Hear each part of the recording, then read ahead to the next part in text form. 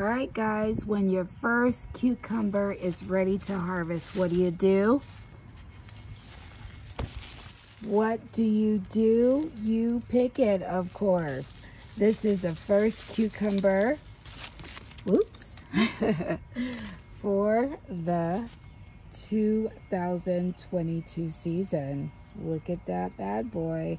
Not too shabby. Woohoo! You too can find inspiration in everything. Yes, everything. And if you can't, look again. Woohoo! I got my cucumber, my first one for the season. And there's plenty more to go. Woohoo! Happy gardening. Happy gardening. Happy gardening. Gardening. I'll see you in my next video. Thanks for watching.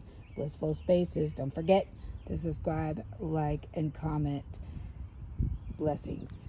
A tip for all the new gardeners out there sowing a successful crop of cucumbers in July means they'll be ready for harvest in the autumn. Oh my gosh, I can't believe we're talking about autumn. This is a time when things typically calm down in our gardens.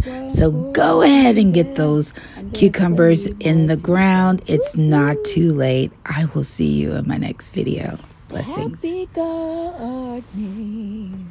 Happy gardening. Happy gardening.